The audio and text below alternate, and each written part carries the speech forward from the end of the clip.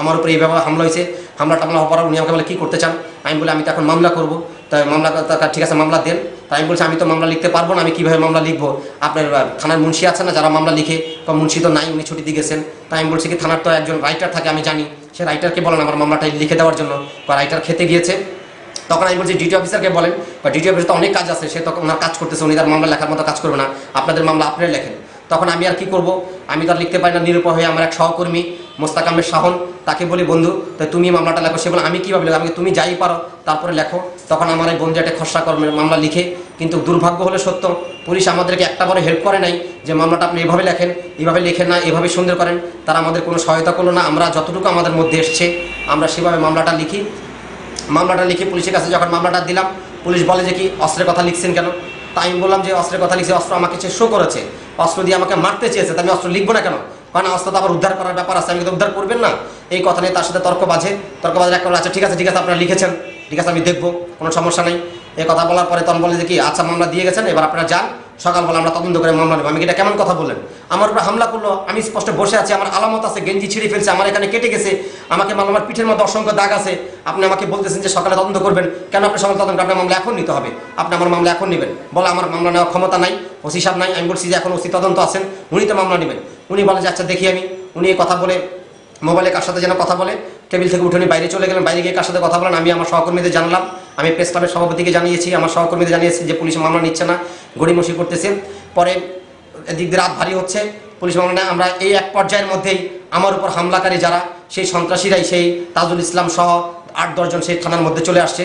থানার মধ্যে ওসব পারলে ওসির সামনে তারা, ওই দারোগা দুই সেকেন্ড অফিসার ওসি আশরাফ, তাদের সামনে ওরা আমার উপরে চড়াও, পারলে আমার উপরে মারধর করে আমাকে। ওরা আইসে হামতাম দেখে নিবে, হুমকি দামকি শুরু করেছে। আমাদের, আমার সহকর্মীদের সাথে তাদের তর্ক বেঁধে যায়। তখন আমি ওসিকে বলি সেকেন্ড অফিসারকে বলি, কী ব্যাপার আপনি দেখতেছেন? ওরা আমার উপরে হামলা করেছে। আবার ওরাই এখন থানার ভিতরে এসে আমার উপরে ঘটনা ঘটে যায়। আপনি কিছু বলেন? উনি বলে, আপনি চুপ থাকেন তো। আপনি আমাদের সামনে আসেন। আপনি মামলার ব্যাপারটা দেখেন। ওদিকে আমাদের পুলিশ দেন কোথায় আপনার পুলিশ? আপনার পুলিশকে দেখব, ওরা তো আমার লোকজনকে মারতে আসতো ওরা এখন আমাকেই মারতে আসবে। আপনারা কিছু বলেন? উনি বলছে, কোথায় কোথায়? দেখি দেখি। এ কথা বলে ওনারা বসে আছে, যায় নাই। পরে আমার সহকর্মীরা আগে গিয়েছে, পরে কোনো মতে তারা ওরা চলে গেছে। পরে আমি দেখলাম, আমি এখানের মধ্যে পুলিশের থেকে যত পর্যন্ত সহযোগিতা আমি পাবো না না পারতে একান্ত বাধ্য হয়ে পরে আমি এসে আমি র্যাব এগারো, সিপিসি ওয়ান, আসে আমি আরমান সাহেবকে ফোন করি যে এই ব্যাপার, আমার উপরে যারা হামলা করছে, সেই সন্ত্রাসের থানার সামনে অবস্থান নিছে, ওরা হয়তো আমার উপরে আবার হামলা করবে। দয়া করে আপনারা ফোর্স পাঠান। তখন আমার ফোন পেয়ে কিছুক্ষণ পরে তারা একটা যে গাড়িটা সিদ্ধিগঞ্জ পুল গিয়েছিল, সেই গাড়িটাকে ওনারা পাঠিয়েছেন। র্যাবের গাড়িটা যখন আসার পরে সন্ত্রাসের ছত্রভঙ্গ হয়ে যায়। আমি আমার কলিগদের কাছ থেকে শুনেছি, ছত্রভঙ্গ হয়ে তারা থানা থেকে তিন থেকে চারশো গজ একটি দূরে অন্ধকারে বসে আছে। আমাদের গতিবিধি তারা ফলো করতেছিল। এদিক দিয়ে যখন আমি পুলিশের কাছে মামলা করলাম, তখন আশরাফ সাহেব উঠে চলে গেল, কোথায় যেন তাকে খুঁজে পাই না। সে কোথায় খবর নেই। দারোগার সাথে বলল, কি ব্যাপার আপনি মামলা নেন? মামলা না নিলে এক তর্ক বিতর্ক, উনি করে মামলা নেব না। এই করে, সেই করে ঘুরাচ্ছে আমাদের। রাত্র ভারী হচ্ছে, রাত দুইটা বেজে গেছে ঘড়ি। আমরা বসে আছি এগারোটা থেকে। সে রাত দুটা পর্যন্ত পুলিশ আমাদের মামলা নিচ্ছি, নেব না, দিব এই করতে করতে রাত দুটা বাজিয়ে ফেলছে। এর মধ্যে আমার এক সহকর্মী পলাশ, আমাদের সময় কাজ করে সে পলাশের সাথে তাহলে ঠিক আছে, আপনি যখন মামলা করবেনই না, তাহলে আমরা চলে যাই। আপনি এটাই কপিটা আমাদের কাছে আমরা চলে গেলাম, আপনি মামলা নিলে তখন সে আমাদেরকে বলে যে, মামলা নিব, না নিব সেটা পরের কথা, কিন্তু এই কপিটা আপনারা নিতে পারবেন না, এই কাগজ আমার কাছে রেখে যান। আমরা বলি, মামলা যদি না নেবেন তাহলে কাগজ আপনার কাছে রেখে লাভ কি? আপনি আমাদের কাগজ দিয়ে দেন, আমরা আমরা কাগজ নিয়ে চলে যাব। এই কথা বলে সে আমার সহকর্মীর হাত থেকে টান দিয়ে কাগজটা নিতে টান দিয়ে গিয়ে কাগজটা সে ছিঁড়ে ফেলছে। আমি আপনার মামলা, কাগজটা ছিঁড়ে ফেলেন? কয়, ছিঁড়ে ফেলছি, তাতে কি দিছে তখন আমি আমার কলিগকে বলি, এটা ছবি তুলে রাখো, প্রমাণ রাখো, নাহলে পুলিশ তো বলবে যে আমি ছিঁড়ি নাই। তখন যখন ছবি উঠাতে যায়, তখন দমবক্ত নিয়ে সেই সেকেন্ড অফিসার নাজমুল বলে, উঠান উঠান, ছবি উঠান। উঠাই কী করবেন বেশি করে ছবি উঠান।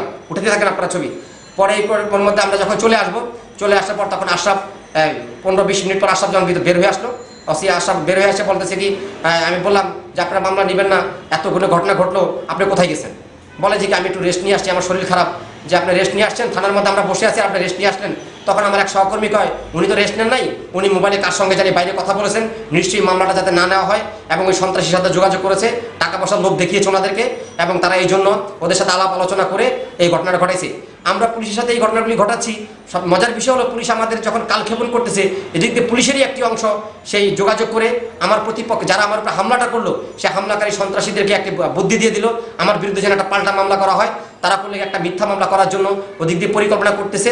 তখন আসার বলে যা হওয়ার ঘটনা ঘটে গেছে, ঠিক আছে, আপনাদের মামলা নেব, আপনারা মামলা লেখেন। আমরা নিরুপায় হয়ে বাধ্য হয়ে পুনরায় আবার মামলা লেখা শুরু করলাম। মামলা লিখেছি। মামলাটা আমরা লেখার পর আমার তখন ঘড়ি বাজে রাতের আড়াইটা বাজে ঘড়ি। মামলা লিখে যখন পুলিশের হাতে মামলা দিলাম, তখন হয়ে গেছে তেরো তারিখ। যদি রাতের বারোটা বাজলেই, বারোটা দশ চলে আসলে, হয়ে যায় তেরো তারিখ। সেই তেরো তারিখের মধ্যে যখন হলো, তেরো তারিখের মধ্যে আমরা বলতেছি যে তেরো তারিখ না, বারো তারিখে লিখেন। আমরা পুলিশের কথা মতো বারো তারিখে লিখলাম। বারো তারিখ লেখার পর পুলিশ তখন মামলা নিল। মামলা নিয়ে আমার গেঞ্জি, যে টি শার্টটা আমার ছিঁড়ে ফেলছে, টুকরো টুকরো করে ফেলছে সেই ছিঁড়ে। সেই টি শার্টটা তারা সিজাল, লিস্ট করল, সিজাল লিস্ট করে জব্দ করে তারা মামলাটা আমরা কমপ্লিট করে রাত তিনটার সময় তখন আমরা সিদ্ধিগঞ্জ থানা থেকে আমরা বের হয়ে চলে আসি। বের হয়ে চলে আসার পর তখন রাত তিনটায় চলে গেছি। পরের দিন আমরা, আমার সহকর্মীরা যে যেখানে খবর পেয়েছে, তারা কর্মসূচি ঘোষণা করেছে। নারায়ণগঞ্জের সকল সাংবাদিক, পেশাজীবী এবং রাজনীতি নেতা, নেত্রী যারা আছে, সবাই সেখানের মধ্যে আমার কর্মসূচি অংশগ্রহণ করেছে, প্রতিবাদ জানিয়েছে। প্রতিবাদ জানার পর আমি এদিকে চলতেছে। আকস্মিকভাবে আমি, পরের দিন আমি রাত আটটার সময় আমি জানতে পারি, যারা আমার উপরে হামলা করেছে, সেই হামলাকারীরাই বাদী হয়ে একই সময় একই ঘটনাস্থল দেখিয়ে আমার বিরুদ্ধে এবং যারা তাৎক্ষণিকভাবে আমার ডাক আমার জন্য এগিয়ে এসছে, সেই সহকর্মী সাংবাদিকদের সহ সাতজনকে, আমাকে সহ আটজনকে আসামি করে একটি ছিনতাই মামলা আমার বিরুদ্ধে দায়ের করা হলো। নজরুলের ক্যাডার তাজুল ইসলামকে দিয়ে, সেখানে তারা উল্লেখ করেছে, আমরা তাকে কুপিয়ে তার কাছ থেকে টাকা, মোবাইল ফোন সহ একাত্তর হাজার টাকার মালামাল ছিনতাই করে আমরা নিয়ে গেছি। কি চমৎকার জিনিসভাবে পুলিশ তাদেরকে সহায়তা করে একটি মামলা আমাদের পেছনে দাঁড় করিয়ে দিল। আমি মনে করি যে এই মামলাটা করেছে একটি মাত্র কারণ আমার মামলাটাকে নষ্ট করার জন্য এবং প্রকৃত ঘটনাটাকে ভিন্ন খাতে প্রভাবিত করার জন্য পুলিশ আমার বিরুদ্ধে সেই মামলাটা নিয়ে এই ঘটনাটা ঘটিয়েছে। তারপরে আমি এই ঘর তখন আমার কাছে মনে হয়েছে যে আমি শেষ পর্যন্ত বিচারটা পাবো কিনা, আমি সন্ধিয়ান হয়ে গেছি। পরের দিন পনেরো তারিখ, চোদ্দ তারিখে আন্দোলন সংগ্রাম সব দিকে পত্রপত্রিকা আসলো। পনেরো তারিখ যখন আইন শৃঙ্খলা কমিটির মিটিং, নারায়ণগঞ্জ জেলা মিটিং শুরু হলো। সেই মিটিংয়ের মধ্যে তখন সব আমার নারায়ণগঞ্জ প্রেস ক্লাবের সভাপতি হাবিবুর বাদল এসপির এবং ডিসি এবং ওখানকার সদস্যের দৃষ্টি আকর্ষণ করে বলল যে রাত বারোটার সময় রবিমের উপরে হামলা হলো, তিন ঘণ্টা পুলিশ মামলা না গড়িমসি করল। দুঃখজনক হলে সত্য, তিন ঘণ্টা একজন সাংবাদিককে বসিয়ে রাখার পরও সেখানে তার মামলা নিতে গড়িমসি, অথচ ওই সন্ত্রাসীদের মামলা নিল পুলিশ আধা ঘণ্টার ব্যবধানে। রবিনের মামলা পনেরো বারোটায় রেকর্ড করল আর সোয়া বারোটার সময় ওদের মামলা নিল, কিন্তু পুলিশ সাংবাদিকের মামলা নিতে গড়িমসি করল। আমরা এই সন্ত্রাসী গ্রেপ্তার দাবি করছি এবং নিন্দা জানাই সেখানে তখন নারায়ণগঞ্জ তিন আসনের এমপি নজরুল ইসলাম বাবু সেখানে ওই সন্ত্রাসীর পক্ষে ছাপাই গিয়ে বলে, সাংবাদিকদের যেমন সন্ত্রাসী তার সহকর্মীর পক্ষে অবস্থানের অধিকার আছে ওদের পক্ষে ওদের পক্ষে আমাদেরও কথা বলতে হয়। তখন আমি বুঝে ফেলছি যে ওদিক দিয়ে কাইসার হাসনাত, এদিক দিয়ে নজরুল ইসলাম বাবুর সরাসরি শেল্টার এই সন্ত্রাসীর পক্ষে। তারপর আমি জানি এদিক দিয়ে পুলিশের শেল্টার। কারণ আমি পুলিশের বিরুদ্ধে একের পর এক রিপোর্ট করেছি। পুলিশ আমার উপরে ক্ষুব্ধ হয়ে আছে। এদিক দিয়ে সন্ত্রাসী আমার উপরে হামলা করেছে, পুলিশ সুযোগ পেয়েছে। এখন পুলিশ সন্ত্রাসী এক ঐক্যবদ্ধ হয়ে আমার বিরুদ্ধে তারা মাঠে নেমেছে। যার কারণে তারা এসপিকে উল্টো বুঝিয়েছে, আমার বিরুদ্ধে এসপিকে ব্রিফিং করেছে, যার প্রমাণ হলো এসপি আইন শৃঙ্খলা কমিটির মিটিংয়ে বলে, যেখানে আমার উপরে পিটানো, আমাকে একইভাবে মারধর করা হলো, সেখানে এসপি বলেন মিটিংয়ের মধ্যে নজরুলের সাথে আমরা শুনেছি রবিনের হাতাহাতি হয়েছে। দুঃখ আমি এত কষ্ট পেয়েছি, আমার সাথে নাকি নজরুলের সতেরো জন সন্ত্রাসীর সাথে আমার সাথে হাতাহাতি হয়েছে। এটা শুনে আমি তখনই বুঝে ফেলছি, পুলিশের কাছ থেকে আমি সুবিচার পাবো না। তখন মিটিংয়ের শেষ পর্যায়ে মিটিং আইনশৃঙ্খলা কমিটির সভাপতি, জেলা প্রশাসক মোহাম্মদ শামসুর রহমান বলেন যে বিশ্বকাপ ক্রিকেটের দুটি টেস্ট ম্যাচ আমাদের ফতুল্লাতে হচ্ছে। আমাদের দেশের সুনাম রক্ষার্থে আমি সাংবাদিকদের কাছে অনুরোধ জানাব যেন এ আমাদের সুনাম রক্ষার্থে কোনো কর্মসূচি ঘোষণা করা না হয়। আমরা তখন এই দেশের কথা চিন্তা করে, সম্মানের কথা চিন্তা করে, জেলা প্রশাসকের কথা শুনে আমরা সেদিন থেকে আমাদের কর্মসূচি আমরা বন্ধ করেছি। আমরা কর্মসূচি ঘোষণা করিনি। কিন্তু এরপরে আমি আমার বিভিন্ন ওয়েতে বিভিন্ন মাধ্যমে জানতে পারি এবং শুনতে পেরেছি। পুলিশ আমার মামলাটির ফাইনাল রিপোর্ট দিবে। আমার মামলা যদি ফাইনাল রিপোর্ট দেয় তাহলে আমি বুঝে ফেলছি যে আমার এই মামলার কি হবে। আমি মামলার আর বিচার পাবো না।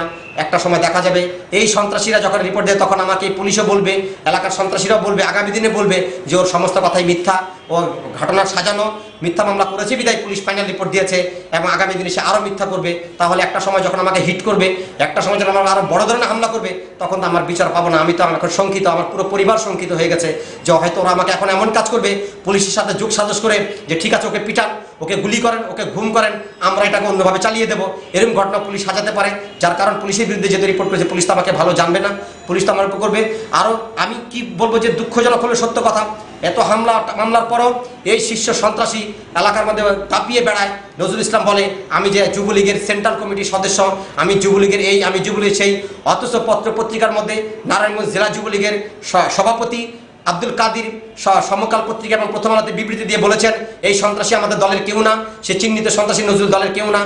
আরও সিদ্ধিগঞ্জ থানা আওয়ামী লীগের সভাপতি, সাধারণ সম্পাদক, যুবলীগ, স্বেচ্ছাসেবক লীগ, আওয়ামী লীগ, শ্রমিক লীগ, কৃষক লীগ, সকল নেতৃবৃন্দ ঐক্যবদ্ধভাবে বিবৃতি দিয়ে বলছে, সন্ত্রাসী নজরুল একজন চিহ্নিত সন্ত্রাসী, সে আমাদের দলের কেউ না। এক সময় সে ছাত্রলীগের রাজনীতি করলেও সে বিভিন্ন সন্ত্রাসী কর্মকাণ্ডের কারণে দুই হাজার এক সালে এই সন্ত্রাসী রাতের অন্ধকার এলাকা থেকে পালিয়ে গেছে। সাত বছর পর মহাজোট সরকার ক্ষমতা আসার পর এই সন্ত্রাসী এলাকায় ফিরে এসেছে। এলাকায় ফিরে এসে দলের নাম বিক্রি করে যার তার উপরে হামলা করতেছে, মামলা করতেছে, একের পর এক ঘড়িয়ে আমাদের সরকারের বদনাম করতেছে। এই সন্ত্রাসী দ্বারা আমাদের দলেরও বহু সংখ্যক নেতা করবে হামলা মামলার শিকার হয়ে তারা এ পর্যন্ত আমার দলেরও ছয়জন মানুষ, ছয়জন দলীয় নেতা এই সন্ত্রাসী বিরুদ্ধে দীর্ঘস্থানে ছয়টি জিডি করেছে গত দুই বছরের মধ্যে। এই সন্ত্রাসী কাছে আমাদের দলের কেউ নিরাপত্তা না বলেও তারা বিবৃতি দিয়েছেন। এখন আমার আমি শঙ্কিত, যেখানে দলের লোকও বলে যে সে দলের কেউ না। এখন পুলিশের সাথে যোগসূত্র করে সে একের পর এক আমার উপরে হামলা, মামলা করতেছে হামলা করবে সামনের দিকে। আমি শঙ্কিত, আমি যতটুকু জানতে পেরেছি, আমি পুলিশের কাছ থেকে তার সংগ্রহ করে দেখেছি, সে সিদ্ধিগ্রস্ত থানা পুলিশের তালিকা চার নম্বর। এবং র্যাপিড অ্যাকশন ব্যাটালিয়ন র্যাবের তালিকা, সে তিন নম্বর তালিকাভুক্ত সন্ত্রাসী। তার বিরুদ্ধে যে মামলাগুলোর আমি হদিস পেয়েছি, তার বিরুদ্ধে এক মামলার যেমন সিদ্ধির্ঘ থানার মামলা নম্বর নয় এক আটানব্বই সিদ্ধির্ঘ থানার মামলা নম্বর বারো চার আটানব্বই সিদ্ধির্ঘ থানার মামলা নম্বর দুই ছয় আটানব্বই সিদ্ধির্ঘ থানার মামলা নম্বর দুই দশ উনিশশো নিরানব্বই সিদ্ধির্ঘ থানার মামলা নম্বর তিন দশ নিরানব্বই সিদ্ধির্ঘ থানার মামলা নম্বর চার বারো দুই হাজার এক সিদ্ধির্ঘ মামলা নম্বর চোদ্দ দশ ছিয়ানব্বই সিদ্ধির্ঘ মামলা নম্বর ছত্রিশ বারো নিরানব্বই সিদ্ধ মামলা নম্বর বিশ আট নিরানব্বই সিদ্ধ থানা মামলা নম্বর একুশ নয়, দুই হাজার এক সিদ্ধ থানা মামলা নম্বর বারো চার নব্বই ধানমন্ডি থানার মামলা নম্বর দশ তিন দুই হাজার, দেবিদ্বার কুমিল্লার দেবিদ্বার থানার মামলা নম্বর নয় পাঁচ ছিয়ানব্বই, চিফ জুডিশিয়াল ম্যাজিস্ট্রেট খ অঞ্চল আদালত নারায়ণগঞ্জ পিটিশন মামলা একশো দুই অবলিট নয়, এছাড়াও তার বিরুদ্ধে থানার জিডি নাম্বার হাজার পঁয়ত্রিশ, চব্বিশ পাঁচ দুই হাজার নয় থানার জিডি নাম্বার হাজার ছত্রিশ, চব্বিশ পাঁচ দুই হাজার নয় থানার জিডি নাম্বার বারোশো অষ্টআশি, তারিখ তিরিশ পাঁচ দুই হাজার নয় সিদ্ধির থানার জিডি নাম্বার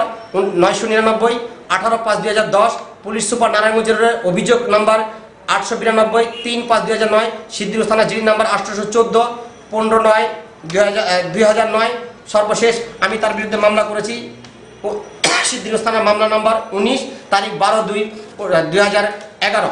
তার বিরুদ্ধে লাইমুদ্দিন হত্যা মামলা জয়ীর হত্যা মামলা তারপরে বাবরা বিশ্ব স্বাস্থ্য সংস্থার কর্মকর্তা হত্যা মামলা সহ একাধিক মামলা তার বিরুদ্ধে, এই- সকল মামলা তার বিরুদ্ধে দায়ের হয়েছে একের পর এক। যেটি হচ্ছে কিন্তু কোনো মামলায় কোনো কিছু কা- তার সাথে পুলিশ কখনোই তাকে গ্রেপ্তার করে না।